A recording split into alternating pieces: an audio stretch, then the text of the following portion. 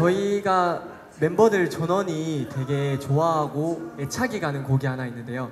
그 곡은 아까 무대에서 선보였던 날 보며 웃어준다라는 네. 곡이 있습니다.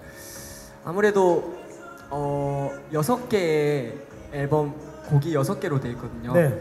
근데 그 곡들 중에서 눈에 확 튀는 곡이 아니지 않을까? 그런 생각이 들고요. 그리고 노래 부를 때 멤버들이 되게 진정성에 빠져서 그렇게 데뷔라는 거를 눈에 앞두고 그 감정에 빠져서 부를 때 뭔가 하나가 되는 그런 기분이 들어서 저희가 애착이 가는 곡이 아닌가 싶습니다.